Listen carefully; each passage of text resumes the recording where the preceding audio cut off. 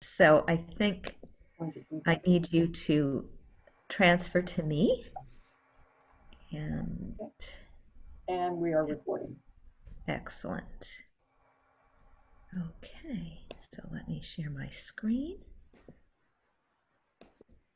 It's like up by one.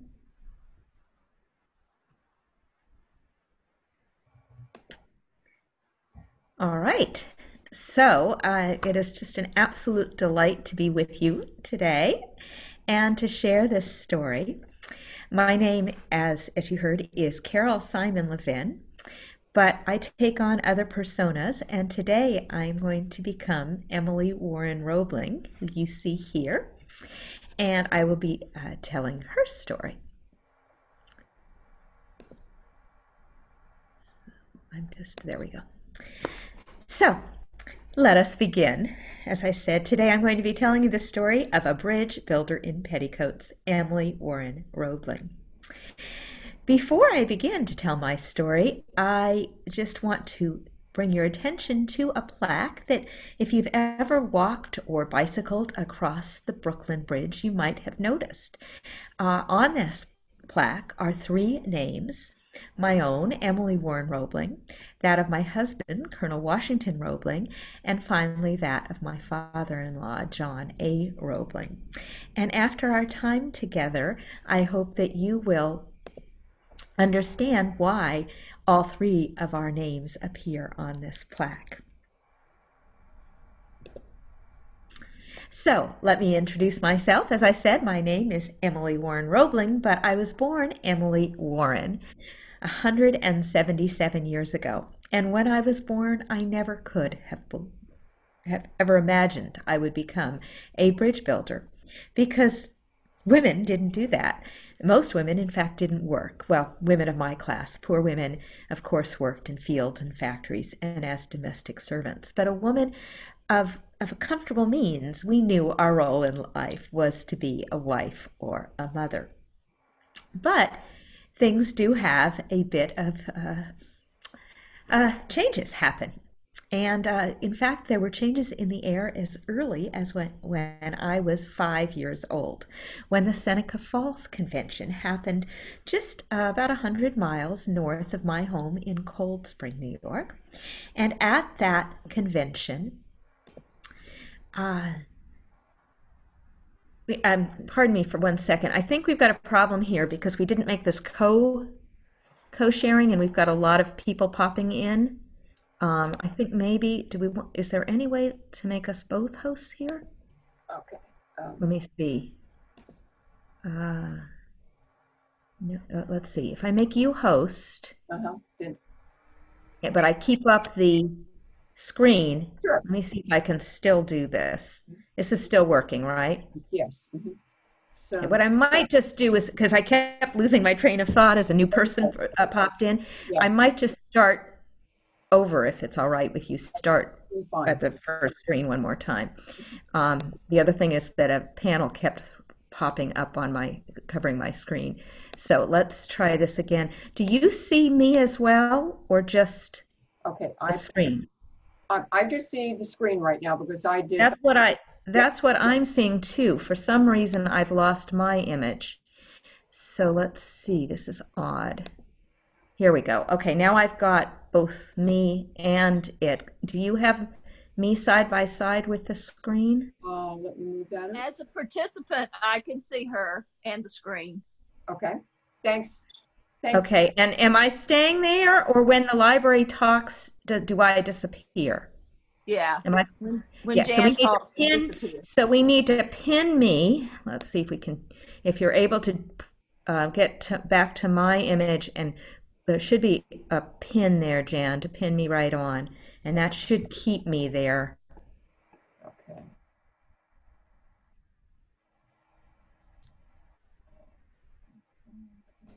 And then I should be here.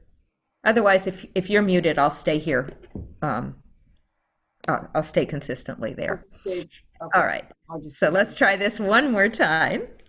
Um, apologies, everybody. We have such excitement in, in the virtual universe. But this this should be better. At this point, I think I should be side by side with my screen, and you should see me. Is that correct, Jan?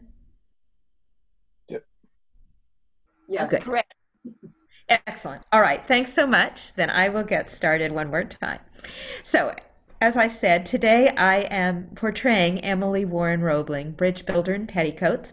My name is Carol Simon Levin, and I'm absolutely delighted to be with you. So, uh, if you ever crossed the Brooklyn Bridge by foot or by bicycle, you may have seen a sign. And on this sign, there are three names with the last name of uh, uh, Roebling. Me, uh, my name, Emily Warren, my husband, Colonel Washington A. Roebling, and my father in law, John A. Roebling. And after our time together, I hope you will understand why we three shared this plaque. But my story, of course, doesn't begin with a bridge. Indeed, my story begins 177 years ago when I was born in Cold Spring, New York. And when I was born, I could never have imagined I would become a bridge builder. Women didn't have those sorts of dreams. Women, uh, for the most part, well, poor women worked in fields and factories and as domestic servants. But women of, of comfortable means, as I was, we knew as girls that our role in life was to become a wife and a mother, make a good marriage, and have good children. There were some stirrings of change in the air. When I was just five years old, the Seneca Falls Convention was held, uh, just a hundred or so miles north of my town. And the women and some men there demanded more rights for women, uh, many rights, most controversially, the right to vote. But that right would not be achieved in my lifetime. I grew up, uh, I was one of 12 children, six of whom lived to adulthood, which sadly was pretty typical in my time. Uh, I had, however, loved uh, teasing my brothers and sisters. I loved horsing around inside and outside. I liked riding, side saddle, of course. Uh, I also liked playing practical jokes on my siblings. And my favorite uh, sibling was my, the oldest living brother, Governor, Gouverneur Kemble, who was um, 13 years older than I was. And so when I was five, he went off to West Point to study engineering. And then after graduation, he entered the Army Corps of Engineering. He surveyed the Mississippi River. He followed the Lewis and Clark expedition out to the uh, West, where he uh, wrote wonderful, exciting letters about his time in Indian country. And I just wanted to do the same. But of course, as a girl, I could not. However, he did give me the best gift he could have. After our father's death, he paid for me to enroll in the Georgetown Convent School in Washington, D.C., which, despite its name, was very progressive. It thought that women, girls, could learn things that most people thought our brains were not capable of. So, in addition to a more conventional curriculum of history and housekeeping, geography and embroidery, painting, mythology, French, piano, composition, and so forth, they also taught us algebra, geometry, bookkeeping, astronomy, botany, meteorology, chemistry, and geology. Maths and sciences that I found so exciting, although but no one ever dreamed a girl would actually put them to use. Well, after graduation, I went back to uh, Cold Spring, and shortly after that, our country broke out in war, what we then called the war between the states, what you now call the Civil War. And my brother became an officer in the army. And you can see him right here in those bright red trousers, uh, very handsome indeed, in the front of this painting. And I am in this flowered hat in the back row. Well, my brother made quite a name for himself, particularly at Round Top in Little Round Top in Gettysburg, where he and his aide de camp, uh, a, a man by the name of Washington Roebling, who you will hear quite a bit of in a few minutes, noticed that the that mount, that high point, was not very well defended, and they brought in men and cannon to uh, to defend that spot. And some people consider that what he did then actually gave us um, led to our victory there, to the Union victory there, that we might not have succeeded without that foresight.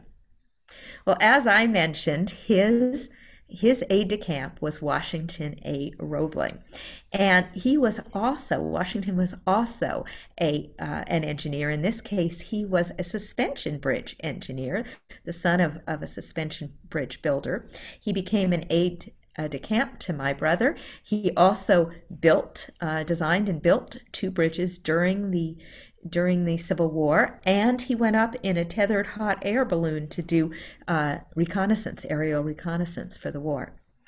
Well, I met Washington, or Washi as I soon would call him, in February 1864 when there was a grand ball. My brother invited me to attend, and apparently Washi was immediately smitten because that night he wrote a letter home to his sister describing me as she is dark brown eyed, slightly pug nosed, lovely mouth and teeth, and a most entertaining talker, which is a good thing, you know, I myself being so stupid. Well, uh, that began a relationship that soon got, um, well, you would call, call rather warm indeed. Um, indeed, I felt that my letters, uh, which we wrote almost daily, uh, were, were too lovey dovey, too forward. So I was afraid they might fall into somebody else's hands and compromise my reputation, particularly after we were engaged about six weeks afterwards, after we began. And, and so I urged my uh, fiance to burn them, and he assures me that he did. So we no longer have my letters, but we do have his, which were um, transcribed to typescript later on. And you can see uh, you can see the uh, them at Rutgers if you ever want to go there. But you get a sense of Washington's mood, and in fact, the general mood of the war at the in uh, in 1864 from some of these letters. I have had the pleasure within the past few days to be struck by lightning and to fall into a well, both of which accidents passed off without any particular damage to your devoted admirer. On another occasion, he writes, the papers must have told you that we have been fighting a little. Our corps has only 12,000 left out of 27,000. Uncle Robert Lee isn't licked yet by a long shot, and if we are not mighty careful, he will beat us yet. And on another occasion, they must put fresh steam on the man factories up north. The demand down here for killing purposes is far ahead of the supply. Thank God, however, for this consolation that when the last man is killed, the war will be over. Well, the war was eventually over, and even before that, my husband, or sorry, my fiance, soon to be husband, was uh, left with an honorable discharge at the end of 1864, and we were married three weeks later in uh, Cold Spring mm. on January 18th, and you can see these are our marriage pictures. Well, as I indicated before, my uh, father in law was a very famous build, bridge builder, and he had plans for his son, and those included that his son should go off to Cincinnati to supervise the completion of a suspension bridge that his father had been building there. And uh, the plan was that I would not go along. Uh, my father in law's wife had never gone along on these adventures. But I, well, I ask you, how would you feel if you had a situation like that where you were newlywed and told you might be uh, apart for a year or two right after that. You can imagine I was not pleased. So even though my husband did go off to Cincinnati, uh, I started lobbying from uh, very very quickly to go along, and he he, he wrote uh, back words of discouragement, really, um, because Cincinnati was so filthy. It was uh, the smoke from all the coal. They said everything here is black, black. No one wears anything else. It is of no use. No amount of washing keeps the hands clean. Your gray checked silk would be black in a week. But this uh, did not keep me from wanting to join my husband there, and he finally made arrangements for housing for both of us and transportation for me. And he wrote, If I have someone to talk to like yourself, it will take off half the load, even if you don't know much about it. So I would love you to take a look for a minute at these pictures of that bridge, and I imagine that you will agree with me that they look a little bit like another bridge that you're all familiar with. People tend to call this the uh, practice suspension bridge, the practice uh, Brooklyn Bridge because many of the techniques that uh, my father in law, John A. Roebling, would put into the design of the bridge uh, between Manhattan and Brooklyn were first uh, enacted on this bridge right here.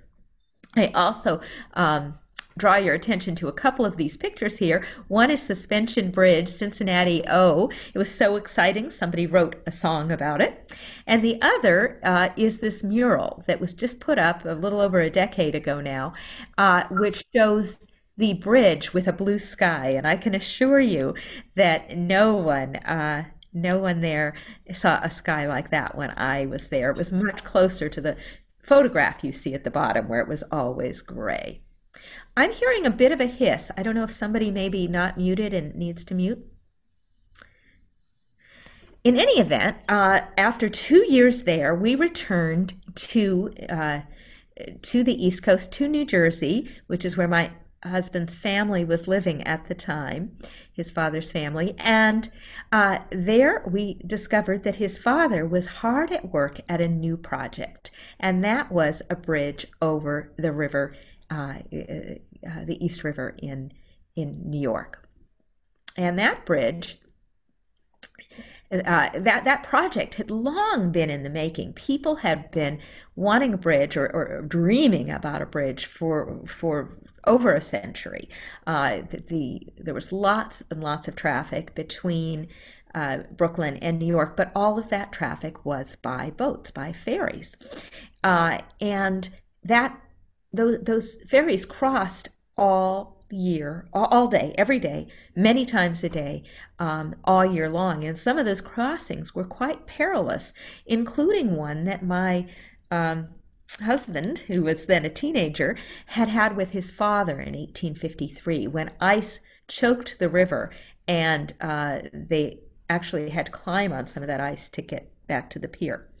Uh, so by the 1860s, fer- the ferries were making approximately a thousand crossings every day in all weathers and all conditions, and people were eager for an alternative. So there was a lot of excitement about an East River Bridge, but there was also lo- there were a lot of problems involved, which is the reason that one hadn't been built. First of all, the East River was a major shipping lane, so uh, any bridge would have to be built quite high so that the tall ships could get underneath. It was also very wide, uh, almost a mile, uh, uh, nearly a mile wide. And um, there were no cliffs, so there was nothing to hang the bridge from. You would have to build towers in the river to hold it up.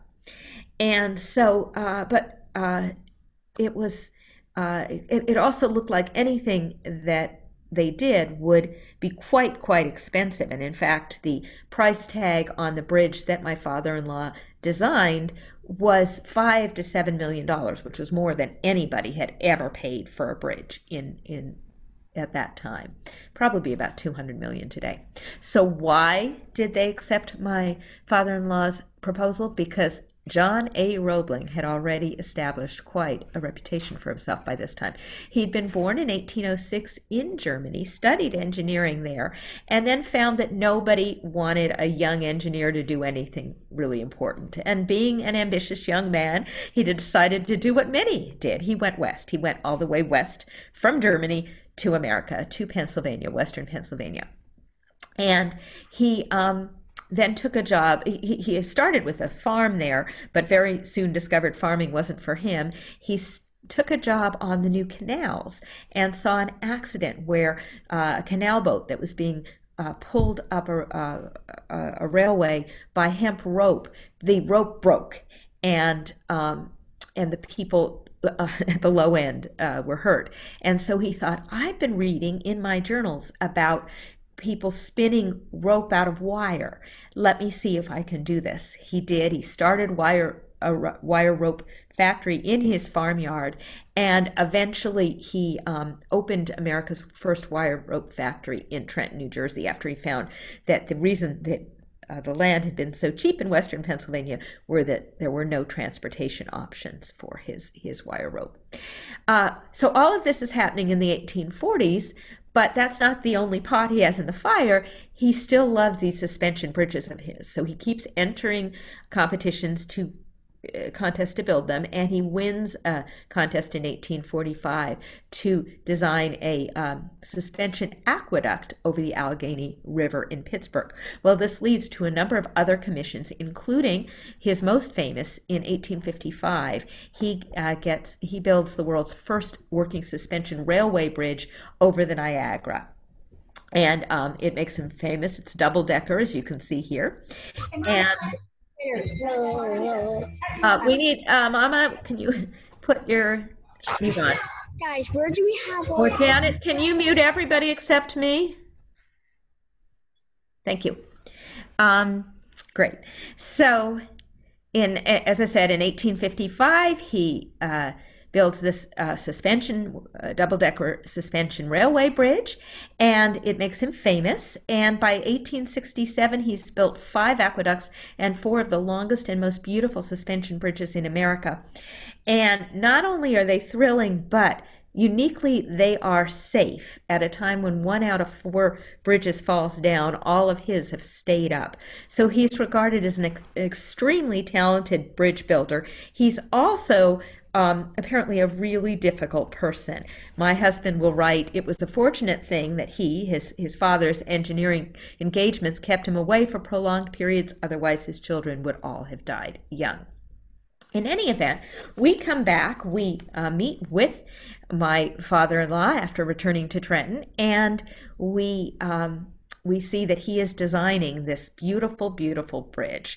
And you can see the designs right here. He writes on the designs the completed structure will not only be the greatest bridge in existence, but will be the greatest engineering work of this continent and of the age. Well, that's. Um, Sounds like it's bragging, but it turns out that's pretty much what it is. And he's given free reign to design anything he wants.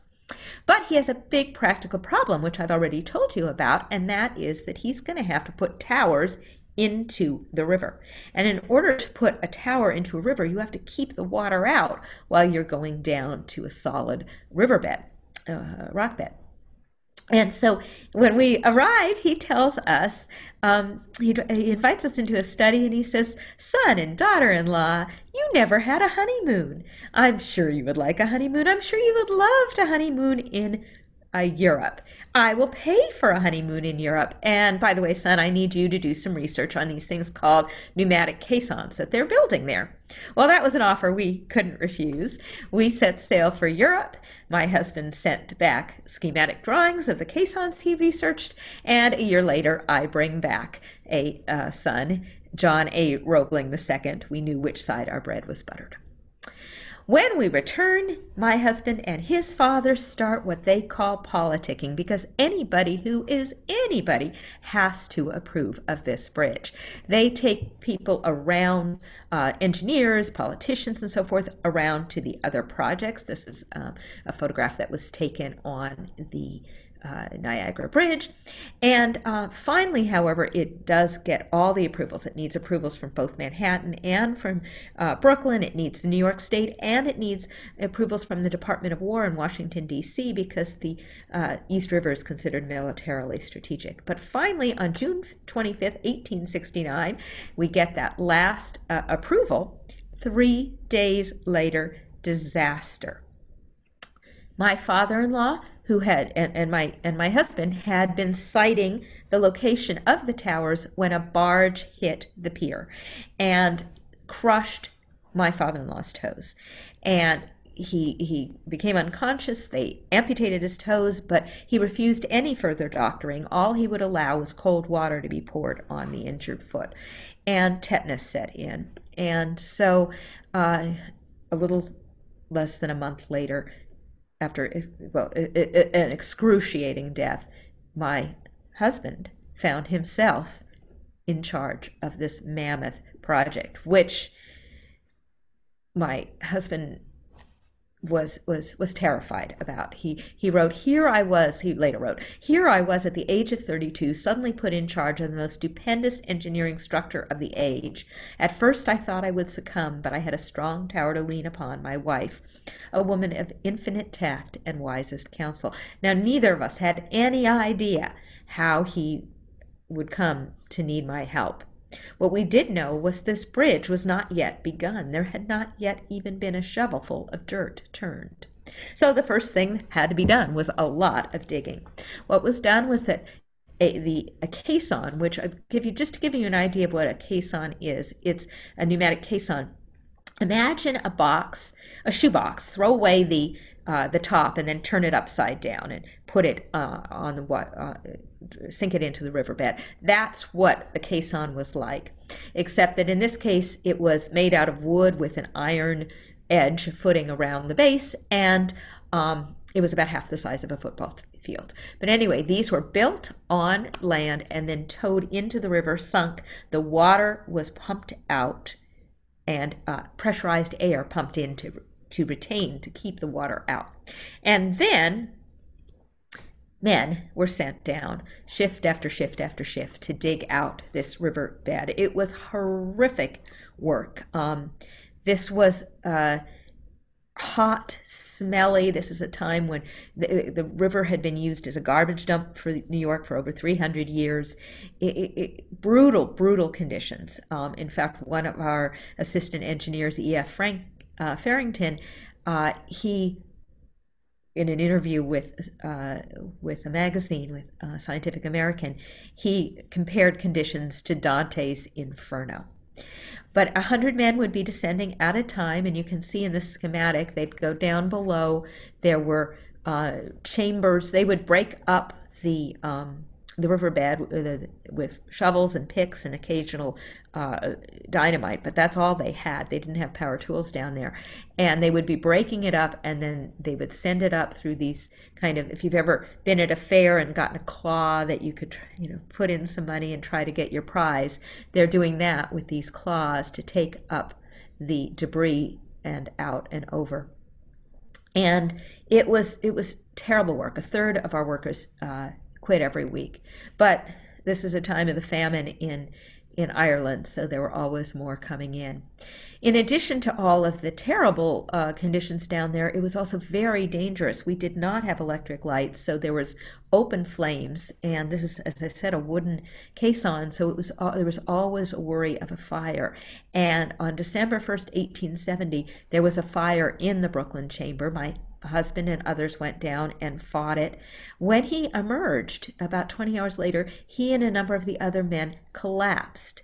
And this was a sign of things that were going to come because we started seeing something that we called caisson disease men who'd go down perfectly healthy into the chambers and come back up doubled over in pain.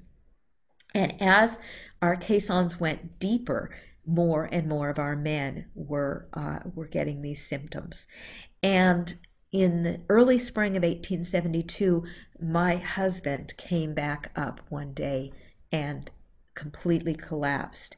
And the doctor said he didn't think that he would survive. Well, he did survive, but he was very, very much weakened, and he was unable to leave our home for quite some time. But he didn't want to give up the project, and so he did something quite extraordinary.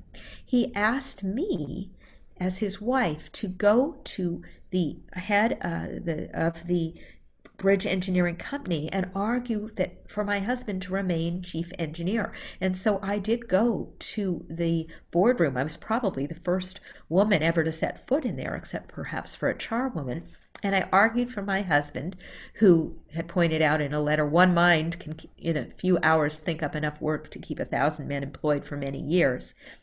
And um, the the president of the bridge company agreed that I could be my husband's voice briefly, temporarily, until things settled down. We never imagined that temporarily, that briefly would last for over 10 years. But instead of getting better, my husband got weaker and weaker, and he either couldn't or wouldn't uh, write or read uh, or talk to anybody else except for me. And so I became his eyes, ears, hands, feet, and voice on the project. I took care of all the correspondence between the assistant engineers and my husband. I conveyed his instructions to them, their concerns to him. And in order to understand what I was doing, I started learning both from my husband and from his textbooks higher mathematics, strength of material, stress analysis, and other details needed in suspension bridge construction. Some people say I was the first civil engineer. Others say I was only a manager on the project. I certainly did not have a formal engineering education, but neither did most engineers working on, on projects. They were lay trained on the projects themselves, which is possibly why those 19 out of 20, um, sorry, 19 out of 20 uh, engineers working on projects had no education, which is probably why one out of four bridges fell, fell down. In any event, under these circumstances, construction continued. And uh, the foundations uh, were built. Uh, the caissons eventually were put on solid ground and filled in, and then towers were erected on them as well. It, the whole thing took another three years. And so we get to 1876, which is the centennial of the country. And in Philadelphia, there's a massive exhibition, but in and they have a model of the bridge there. But in New York, everybody's watching the real thing going up. And on August 25th of that year, we strung the very first cable between the two towers. And our uh, master mechanic, E.G. Frank Farrington, he took a 22 minute ride on this little chair. It's uh, a boatswain's, a boatswain's chair, but it's um, looks a lot like a child's swing. Anyway, it took 22 minutes for him to, to cross on that chair. And everybody apparently was looking, including the New York Times, which wrote about church bells ringing, factory whistles screaming, cannon roared, and the myriads of spectators swung their hats and cheered with wild excitement. They called it a perfect pandemonium. Well, that led to a total of 23,000 trips using this machine that had been designed by my father in law to spin wire into four great cables that would cross, uh, consist of over 35 uh, thousand miles and, and make four great uh, cables to hold up the bridge. It took over two years. You see the gentleman in this top hat here. I don't know if he's a spectator, a supervising engineer, uh, or a member of the public because in, oops, in, there we go.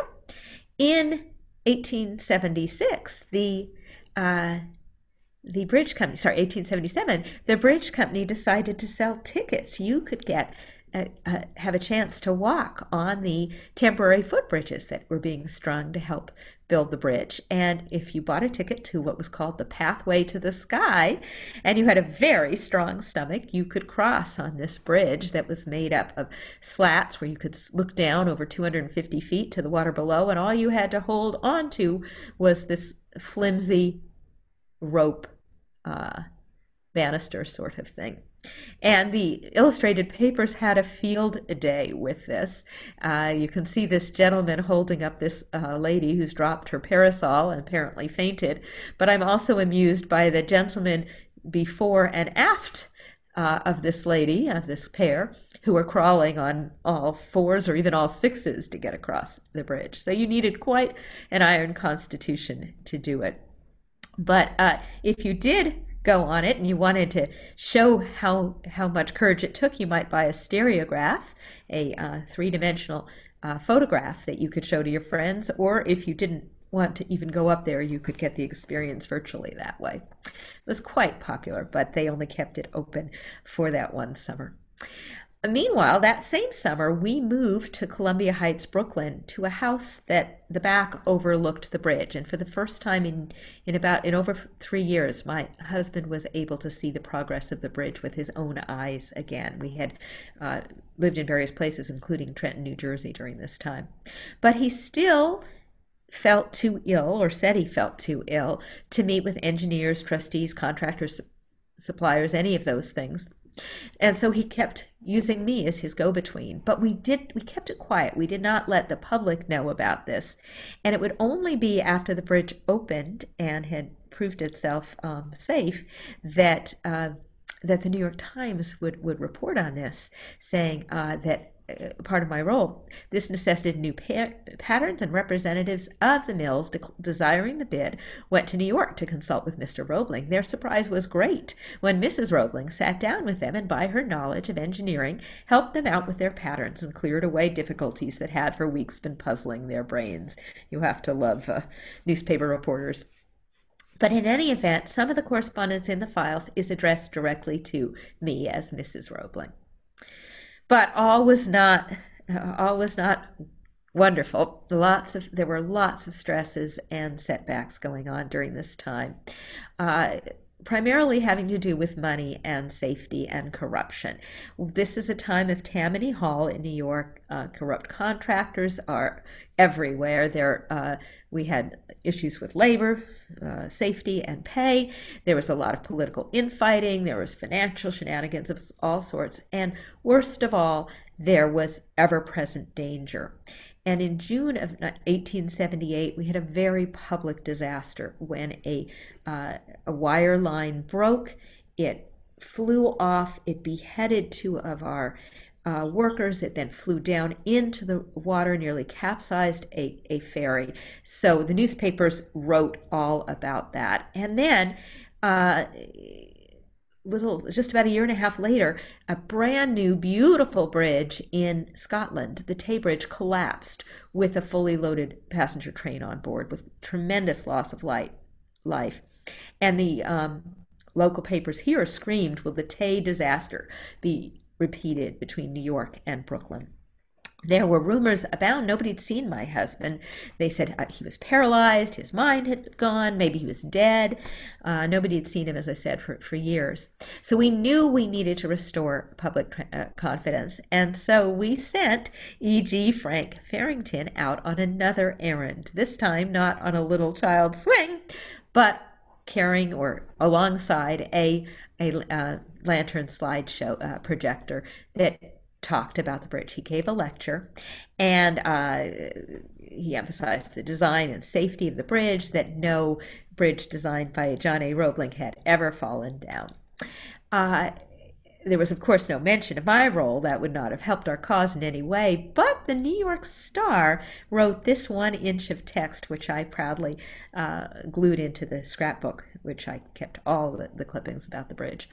And it said, It is whispered among the knowing ones over the river that Mr. F.'s manuscript is in the handwriting of a clever lady whose style and calligraphy are already familiar in the office of the Brooklyn Bridge.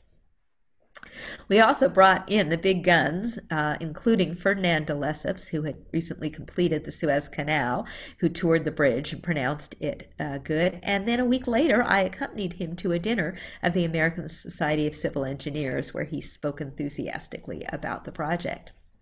Well, in December of 1881, the skeleton of the bridge was complete. All that was left to add was the roadbed, roadbed, and it was felt a good time to show off the bridge to interested parties, to politicians, to newspaper reporters, trustees, and so forth.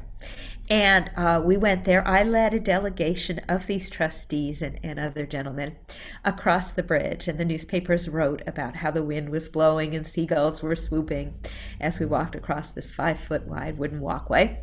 And when we arrived at the New York Tower, 1,600 feet away, everyone was drinking champagne and giving a toast to Mrs. Roebling and the success of things in general. Which shows that really what this was all about was for the newspaper publicity because the trustees had just come that very morning from a meeting in which they were trying, some of them were trying to oust my husband as chief engineer. Many of them had never seen me, seen him. There were a lot of um, political disagreements on this bridge. And uh, I had to get, my husband asked me, and I, I had to get to work. And I uh, started visiting all of the trustees individually. I spoke at the American Society of Civil Engineers, first woman ever to do that, and talked to newspaper reporters and so forth. And finally, when the vote was taken in August of 1882, it, they voted t- uh, 10 to 7, the, the trustees, to retain my husband.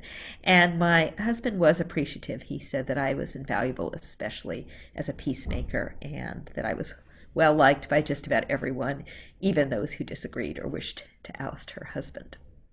That same year, I was acknowledged in public for the first time when an engineer at the Rensselaer Polytechnic Institute, where my husband had gone to school, uh, spoke and said, Gentlemen, I know that the name of a woman should not be lightly spoken in public, but I believe you will acquit me any lack of delicacy or reverence when I utter the name Mrs. Washington Roebling. She's a woman of unusual executive ability, with firm and decided, with opinions on almost every subject. Well, uh, 14 years had gone by by 1883. Um, after 14 years, we were finally nearing completion. And uh, during that time, Alexander Graham Bell had invented the telephone and Thomas Edison the electric light, both of which technologies would have been ever so helpful, and neither of which we had to build the bridge. But at this point, as the uh, these workers right here were tying the last stays together on the bridge. It was found, it was deemed a good time to test the bridge before the grand opening.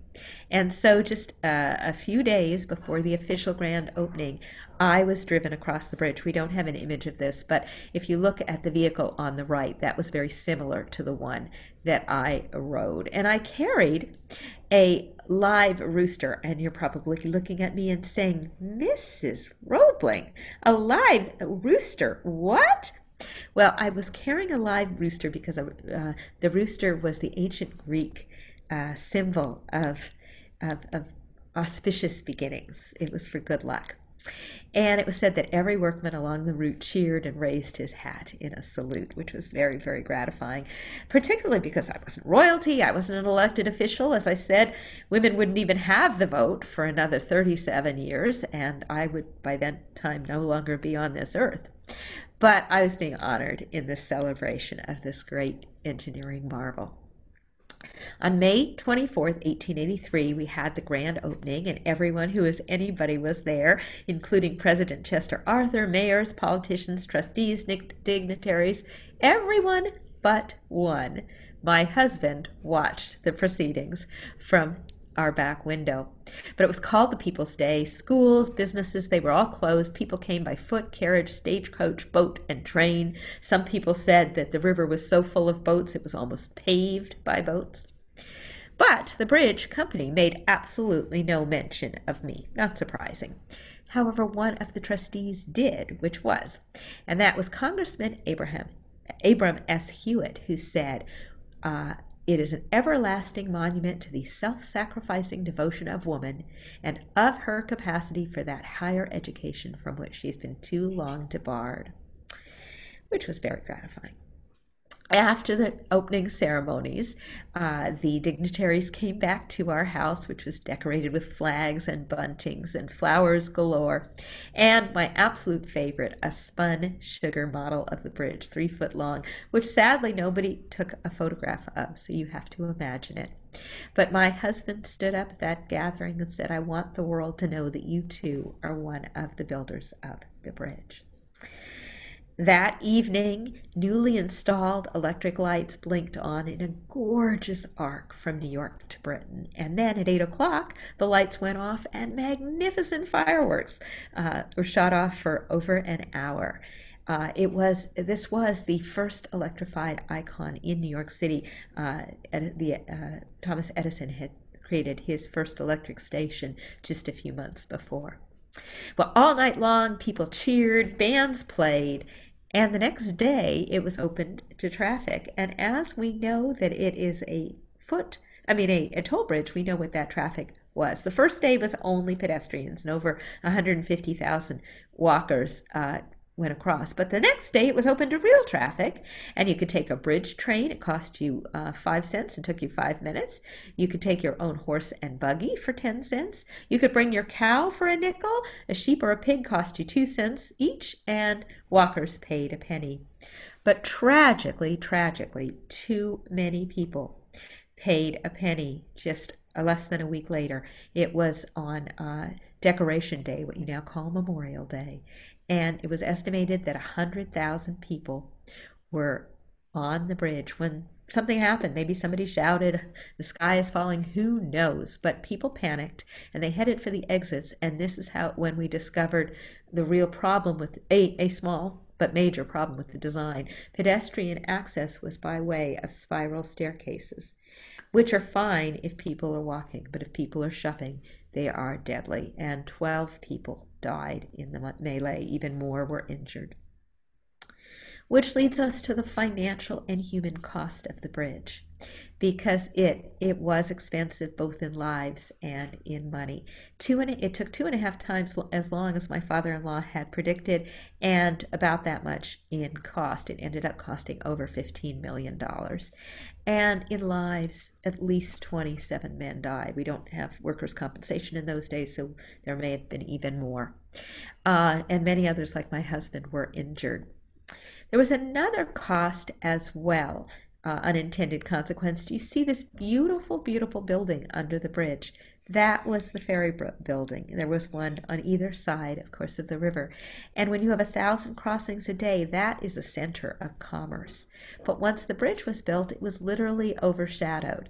And the commerce was drawn away from the wharves here, which soon fell into disrepair and disrepute and it would take nearly a century to bring them back.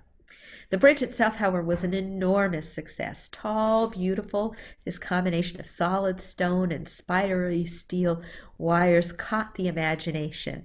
It was the first uh, bridge in the world to use steel cables, and it had the longest span of any bridge on Earth. It was um, it, it, did what it was supposed to. It helped Brooklyn grow. It provided a safe, reliable alternative to the ferries, and it withstood the blizzard of 1888, wind being the, the enemy of, of bridges, suspension bridges. And for nearly 50 years after it was finished, it was considered the most magnificent suspension bridge ever built. It is sometimes called the eighth wonder of the world. It even withstood the weight of 21 elephants when P.T. Barnum took his circus parade across the bridge the following year. Uh, along with the elephants, there were camels and dromedaries, and the New York Times wrote to people who looked up from the river at the big arch of electric lights, it seemed as if Noah's Ark were emptying itself uh, over Long Island. And there are two children's books all about the elephants. As for uh, our family, after the bridge was completed, a month later, I wrote out my husband's letter of resignation. And uh, the family moved to Trenton so that my husband could be, be near the family business, the wire rope factory. And then, um, very mysteriously, my husband got better. His health improved, so much so that uh, the following, uh, a few years later, he helped, uh, he went to, uh, to work on the Niagara Falls Suspension Bridge. Meantime, my son, who had been a toddler when the bridge began, was uh, grew up and went to college. He went he followed his father's footsteps. He went to Rensselaer Polytechnic, and uh, I discovered we discovered he had a heart uh, heart problem, and so uh, I moved to the family there to be closer to him for a few years, and my husband went back and forth to Trenton. Once we relocated permanently in Trenton, I decided it was high time for me to get involved in another building project. I wanted a little house in Trenton. Well, not a little house, a magnificent mansion. We had the money. They, we hadn't earned a lot of money from the bridge. In fact, barely broken even with the costs. But um, but the wire rope factory had made everyone in my husband's family quite wealthy, and I decided some of that money should be spent on uh, on a house. And uh, I hired uh, George Edward Harney. If you've ever been to Newark Museum and seen the Ballantine House there, he designed that as well. And I was quite an active uh, employer of, of uh, Mr. Harney. I had I had serious ideas of what I wanted, including um, a stained glass picture of the bridge right above our staircase, and you can see I'm sta- uh, standing uh, there below. There was a bowling alley in my house. There was electricity. Uh, it was the first private residence in Trenton to have electricity, and I said it made my house look like a fairyland. I loved it. I also, uh, we also had a, a, a carriage, of course, and I still loved my horses and liked to drive it on a fine day. Oops. Um, I also decided it was high time to get some traveling. And so in uh, 1892, I convinced my husband and we traveled uh, to Europe together. And then in 1896, when he didn't want to go back, uh, I went by myself. Well, I went with uh, some women friends. And there we attended the um, coronation of the Tsar and Empress of Russia. And uh, I was presented to Queen Victoria, and I wrote back uh, home, verily the world moves. Think of Queen Victoria shaking hands with Susan B. Anthony and inviting her to take a cup of tea in Windsor Castle. Uh, in 1893, I, along with some other women from New Jersey, joined other women around the country to uh, have an exhibit in the Women's Building at the Columbian Exposition in Chicago. And I uh, served on a number of committees there, including ones uh, examining women's working and women's patents. And I was very gratified when a French duchess complimented my skill as an engineer, recognized me. Um, in uh, the years that followed, in 1898, uh, my uh, my, our country again went to war. It was called the Spanish American War, and my son followed his father's footsteps and volunteered to be an engineer for the army. He ended up not getting sent abroad, but the men who were, the soldiers who were, the troops came back and they were quarantined in a horrible, horrible camp on Long Island, Camp Wyckoff. And we heard uh, they were quarantined there because of illness, but we heard the conditions were terrible. And so a delegation of women from New Jersey went up to investigate. We were denied admittance from the main gate by the train station, so we hired a carriage and went around the back and took a tour and discovered that conditions were even worse than reported. And so, with years of project management experience, I went right to work. We hired cooks, we brought in food, supplies, blankets, clothes. Women built platform tents for the troops. Our nurses came in a full five days before the Red Cross. Turned out to be very dangerous work. One of our nurses died of the typhoid. But when the president, President McKinley, toured the camp, he said, "There's I have seen nothing here to praise except for the world, work of the women." And the New Jersey legislature passed a resolution uh, about our service, commending our service there. Uh, just after this, I ended up enrolling in a women's law course, a one semester law course at New York University. Now, this was not a law course to become a lawyer. Uh, women were not yet becoming lawyers, but many women wanted to be able to argue articulately about the law because we were dealing with things like women's suffrage and other women's rights. And I thought this was a, a, a wonderful idea and really took to it, uh, even though I was having difficulties with my sight. And I was determined to complete my work and was so gratified when my essay was uh, given the prize and uh, was uh, chosen to be read at the uh, at the uh, at the uh, graduation ceremonies. And it was called, my essay was called A Wife's Disabilities, and I called for the elimination of laws discriminating against wives and widows, stating that under current law, the sacred right of marriage conferred upon her the honor of ranking and legal responsibility with idiots and slaves, and arguing that the statutes should be changed so that the property belongs equal to man and wife. Does she not contribute largely to a success or failure? To in life. And it, my essay was written up and i got a lot of newspaper coverage and so forth which i loved. I wrote my son a certain amount of flattery is as necessary to me as oxygen. But my husband wasn't pleased and he told uh, my husband he, he told the prof, uh, professor i never heard her essay until tonight and i do not agree with one word she has said I continued to take an interest in the bridge as well, uh, noting on several occasions in letters to my son about um, technical details about a new trolley electric system and um, some some wear and tear on the bridge. And I don't have the letter that he wrote back to me, but this is my response to him. It, it must have been a, a bit of a catty letter on his part because I wrote, I am still feeling well enough and uh, well enough to stoutly maintain against all critics, including my only son, that I have more brains, common sense, and know how generally than any two engineers, civil or uncivil, that I have ever met. And but for me, the Brooklyn Bridge would never have had the name Roebling in any way connected with it. Your father was for years dead to all interest in that work. Now, I don't know if that's totally true or whether I was just angry, but in any case, that's what I wrote him.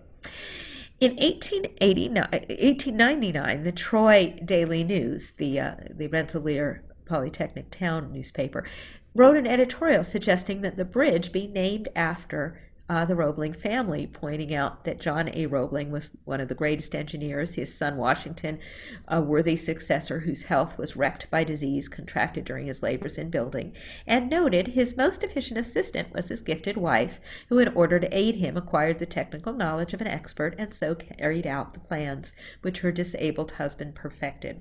But nothing ever came of it, and in 1915 it was officially named the Brooklyn Bridge. The Roebling Bridge is now the bridge that was built in Cincinnati, and it's named after my father in law.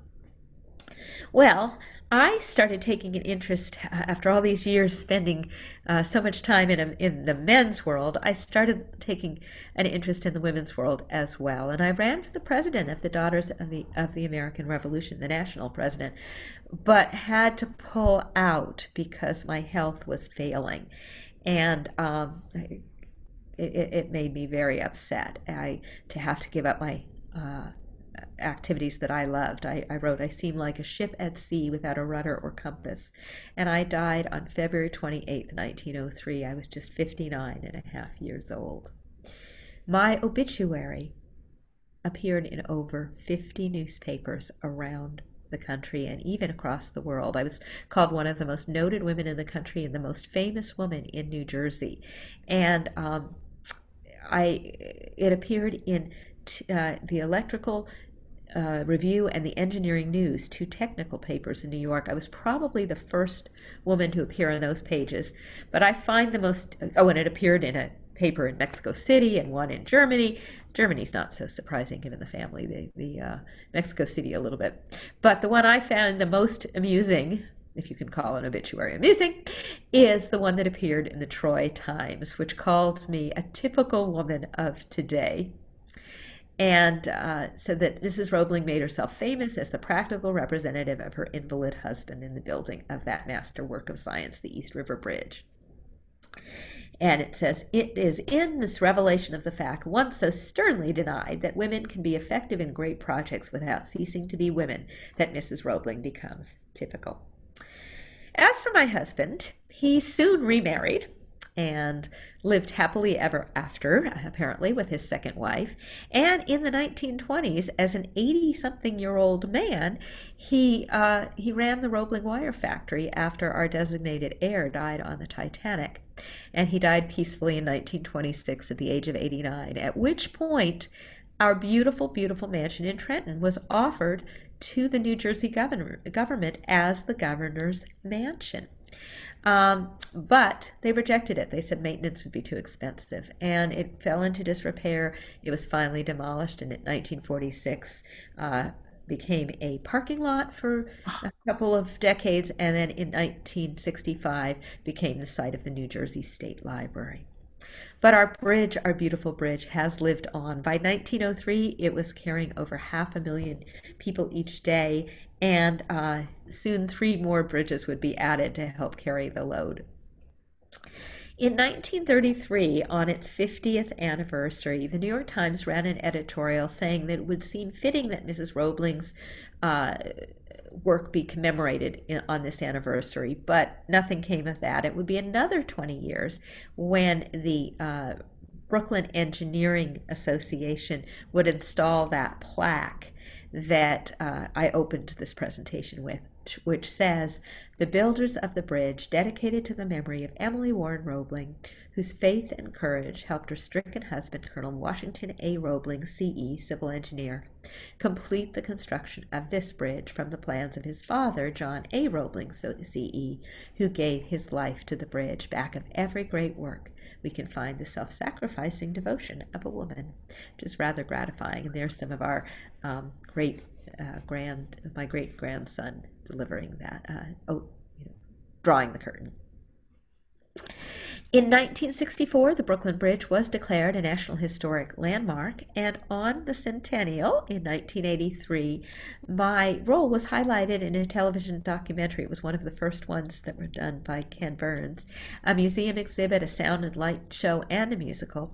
And the National Women's Hall of Fame and Citicorp created an Emily Award to recognize a woman of note in engineering uh, or construction. And in 1998, I was inducted into the Rensselaer Polytechnic Institute Alumni Hall of Fame with my husband, Washington, uh, as joint uh, honorees. The bridge itself has lived in popular uh, imagination. Uh, David McCullough claims that it's been the subject of more paintings, photographs, and other artwork than any other man made structure in America. I don't know how you count that, but uh, certainly many, many, many people have tried to uh, create their versions of the bridge in art. It's also been a cultural and advertising icon. You can see this wonderful uh, advertisement from from the time for, for boots, uh, the boot bridge, I like to call it. Um, there's also a textile from 1939 World's Fair, uh, including the bridge. Empire Sewing Machine is getting into the act, and there's a 1900 Rosh Hashanah card that uh, shows it as well. On the grand opening, the day of the grand opening, the Brooklyn Daily Eagle ran the headline United. And in the article, it stated, Great emer- emergencies are the opportunities of great minds. Mrs. Emily Roebling met this difficulty as nobody else could. Day after day, when she could be spared from the sick room in cold and in wet, the devoted wife exchanged the duties of chief nurse for those of chief engineer of the bridge, explaining knotty points, examining results for herself, and thus she established the most perfect means of communication between the structure and its author. How well she discharged this self imposed duty, the grand and beautiful causeway best tells. And once we're able to travel again, you might consider going up to Cold Spring, and nearby is a bed and breakfast called the Bird and Bottle Inn, which is said to be haunted by me. You can decide if that's true or not. It's very close to the Shakespeare Festival as well, that's up there. Um, closer to home, if you go to uh, near Trenton, uh, just uh, about 15 minutes north, is the Roebling Wire Works. It relocated out of Trenton in the early 1900s. Uh, and uh, then after U.S. Uh, Steel collapsed in the 1970s, it went out of business. And in around 2000, uh, a group of, of citizens created a museum there, a beautiful small museum there. So uh, I recommend it highly. It, it also works very well if you want to see the grounds for sculpture on the same because they're very close together. You can also take, of course, a virtual field trip by uh, going to uh, reading more about it. I have an annotated bibliography at bridgebuilderinpetticoats.com, which you can see here. And uh, there's a uh, there was a thesis uh, written by Marilyn Weigold that calls me a silent builder, and I appear in David McCullough's uh, classic book, The Great Bridge, as well as a chapter with my husband in his book, Brave Companions. There's also, Richard Haw has a beautiful coffee table book called The Art of the Brooklyn Bridge, which tells the history of it as well, but just beautiful, beautiful images. And I also called your attention Clifford Zink's The Roebling Legacy, which is a wonderful historical study of that. Uh, I am discussed in uh, these other books, uh, More Than Petticoats, Remarkable New York Women. I think New York and New Jersey kind of arm wrestle for me because I lived in both places.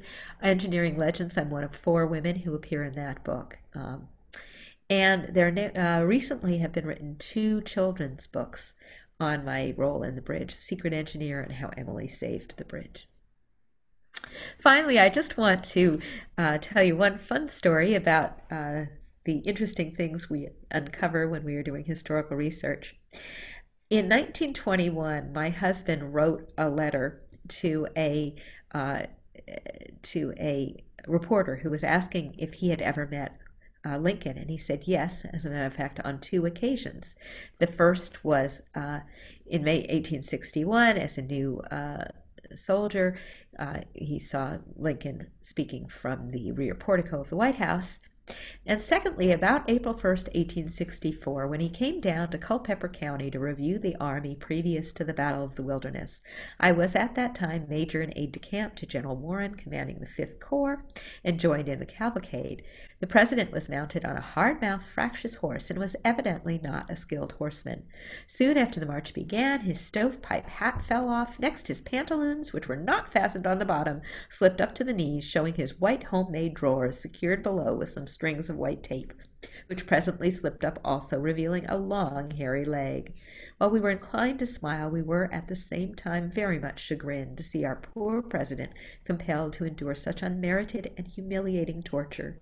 After repairs were made, the review continued, but was shortened on his account. I never saw him again, and was in Covington, Kentucky, when I heard of his assassination. Now, what's so interesting about this ma- wardrobe malfunction is that nobody else ever reported it. And uh, I, when I checked in with the Lincoln Library in Illinois, they'd never heard of it either, which makes me think that Colonel Washington Roebling may have made this up to pull the leg of the reporter. Because if you notice the date, it's April 1st. In any event, oops, there we go. Yeah. Get to the next. Here we go. Here we go. In any event, I have one more treat for you, and that is that you are taking a ride on the train crossing the bridge in 1899. You can see it right here. And uh, I think it must be a weekday because it's mostly businessmen crossing the bridge. On weekends, particularly on Sunday, apparently the bridge in those days was often used for a gentleman and lady friend to take a walk along. It became quite a tourist attraction in, in town. But there you are getting a chance to ride. And finally, I just want to point out I do have a half a dozen other programs. Three are on women in political history, uh, Remembering the Ladies, which goes along with a book that I've written about uh, American women uh, in politics, from patriots and petticoats to presidential candidates. Uh, Pickets and Persistence, War Service and Women's Suffrage, How Women Won the Vote, and Reclaiming Our Voice, New Jersey's role in that struggle.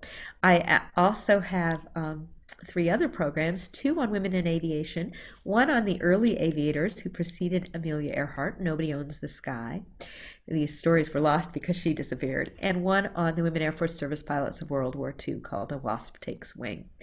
Uh, and finally, I have a program on uh, Juliette Gordon Low, the founder of the Girl Scouts, also known as Crazy Daisy. If you're wondering about John A. Roebling Bridge, bridges, only three still survive. There's the aqueduct, the that Delaware aqueduct that was built in 1849 and has it was restored in 2011. This is what it, it's looked like over the years. And uh, there's, of course, the Cincinnati Covington Bridge, known as the Roebling Bridge, and the Brooklyn Bridge.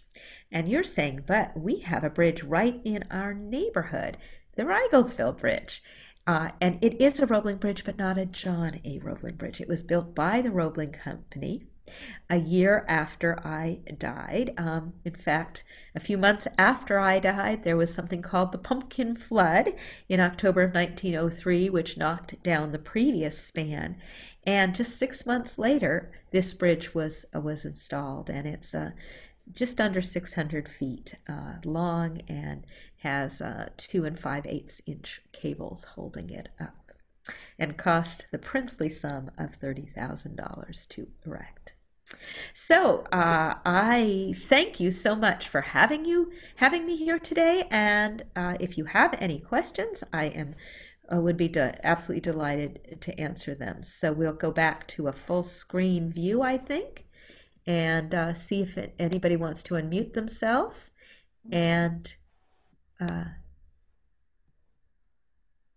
and then we can do this. Let me see. I think I need to. Uh, oh, I had one more thing to do. I forgot about this. Let me, if I'm still here.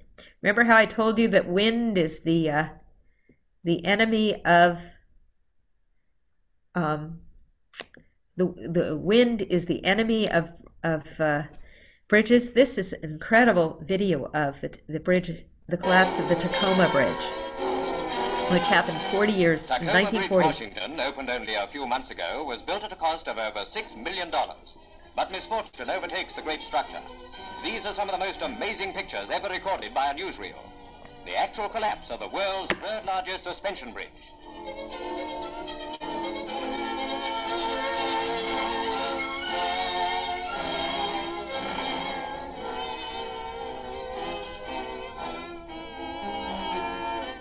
Only a 35 mile an hour wind is blowing, but this apparently sets up a rhythmic swinging of the bridge, which increases with each swing.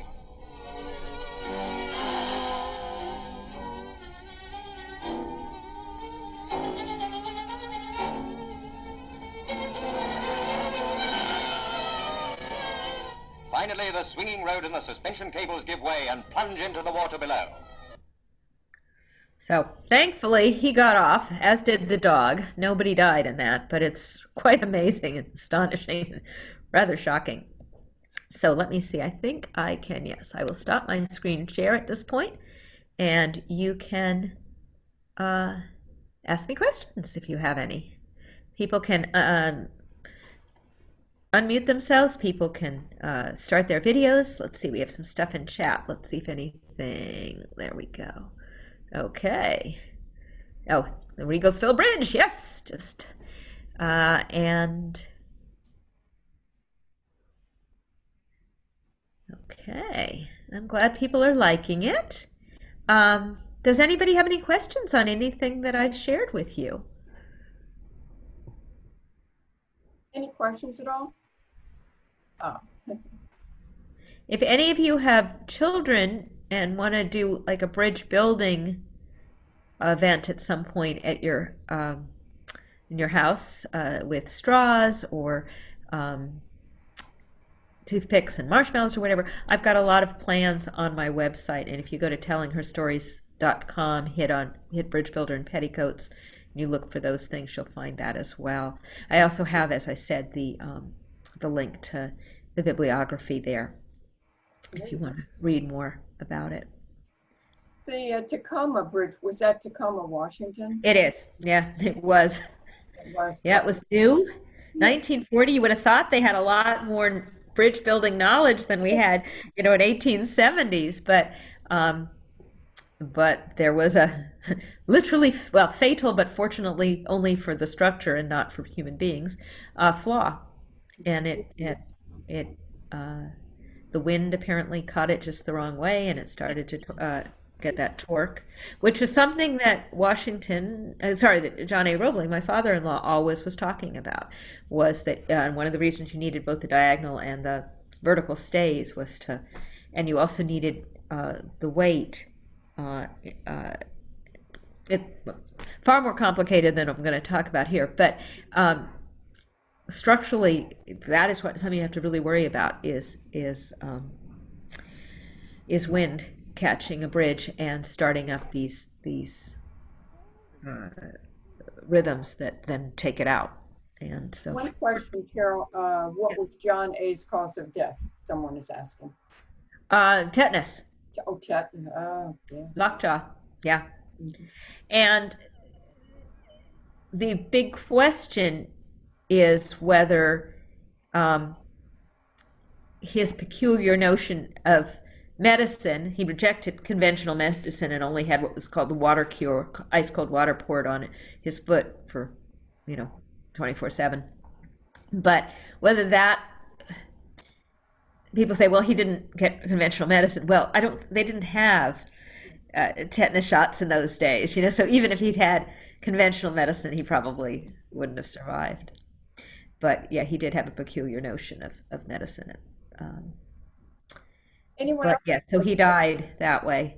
The bigger mystery is what made Washington sick, and um, whether it was indeed caisson disease, whether the caisson disease triggered basically a nervous breakdown, uh, whether the medicine that he was given, apparently in one newspaper article, the uh, reporter mentions that you know there are dozens of pill boxes on his side, and in those days, a lot of what people were being given were opioids. Um, you know, so it's really hard to know, and nobody's exhumed the bones if there are anything there, but they really don't know. But it is a real mystery how he was so sick for basically the duration of the project, but then lives to be 89 years old. You know, outlived me, who's you know Emily is over a decade younger, and uh, then dies two decades, two and a half decades um, before he does. Uh, Any other questions? Anybody before we let Carol go for tonight? Okay, thank you so much, Well, thank you so much. It really was a pleasure. I hope to come back as somebody else. Um, my husband calls me Sybil. Who are you going to be today?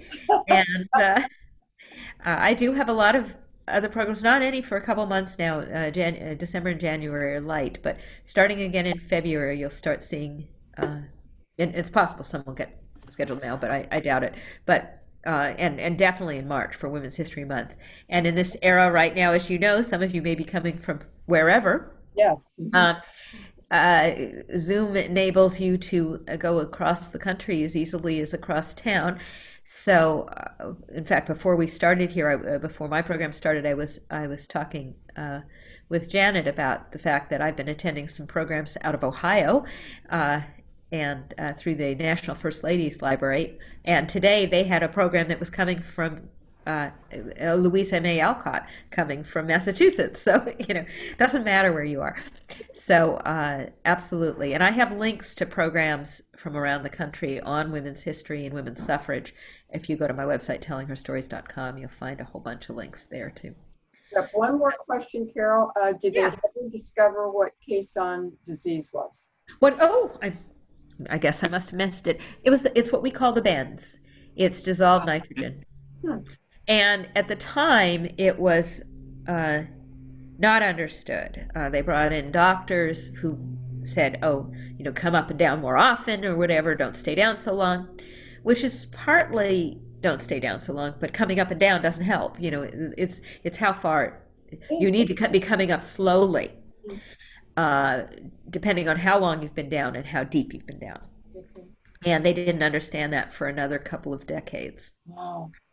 So uh, yeah, everybody it was it was long after the bridge, but it did govern several several decisions, including that the bridge is not on bedrock on the New York side. It's on bedrock in Brooklyn, but uh, when they got down to about 80, a little over 80 feet uh, on the New York side, they were having so many people get getting sick, and they were having such slow going because even though it wasn't bedrock, it was really really hard that um, that Washington had some, you know, ordered that they do some, uh, uh, what do you call it, um, bear, uh, you know, corings, taking some cores, and they looked and they found that it was petrified sand, and they thought, you know, this may be strong enough. If we keep try to do another 40 or 50 feet to get to bedrock on this side, we are going to lose so many more men.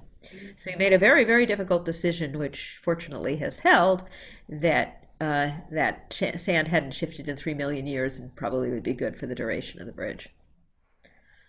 But yeah, And if anyone needs uh, to contact Carol or um, her um, website address or email address, just um, just email me. yeah. Uh, It actually it's just telling her stories plural dot com. So like telling histories, but change his to her. Um, so it's easy, easy to remember and spell. And at my website, there's information on how to contact me. Great. All right. Thanks. And yes, Carol. if you if something occurs to you afterwards, by all means, please please get in touch with me. I'm more than happy to answer you. Very interesting. Thank you again. Thank you so work. much, Janet, for inviting me and taking care of the logistics. And uh, thanks everybody for coming tonight. Have a good night, everybody. Thanks, Arlene. Thank you. Thank you. Good night. Good night. Right.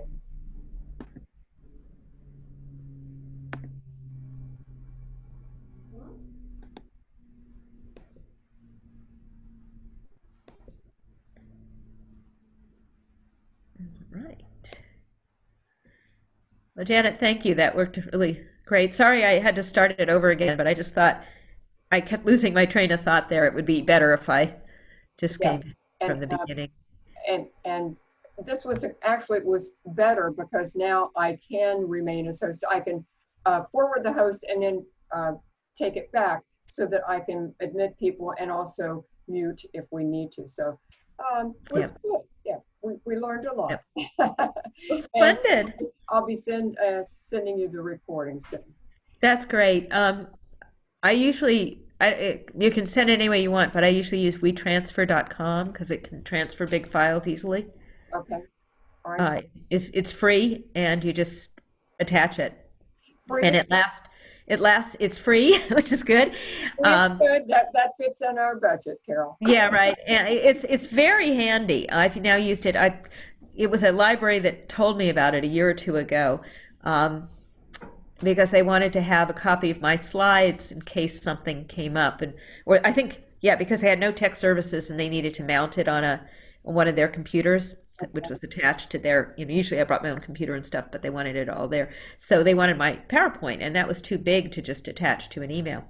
And so they mentioned WeTransfer, and I've been using it ever since. What happens, the free version, it expires after a week, so you have to download it at the other end. So they're not holding it on their servers permanently. But that works fine because you've got it at your original end and you send it, you know, it's, it's going through the mail, through the email, uh, through the WeTransfer internet, and then it's back, you know, you get it to your place, and then you can do whatever you want at the other end. But uh, yeah, and they have a few advertisements, but I can live with that for free. That's okay. We- We can Yeah. live with that. Thanks for the recommendation. You're welcome, Janet, and uh, have a good holiday season. And Thank you. And see- I hope to see you again sometime. Great, me too. And yeah, if you guys are doing any, oh, you were going to send me a link to um, where you posted some uh, that program on Alice Paul at some point, right? Yes, yes, I'll, I'll do that. Yes. And if uh, if you have any other, I love, like, uh, uh, if if I can get on your ma- emailing list or whatever for notifications of events, I'm I, you know what? I will send you a link to, to get on uh, notifications, okay? that's perfect. Super. All right. All right, take care. Bye now. Bye.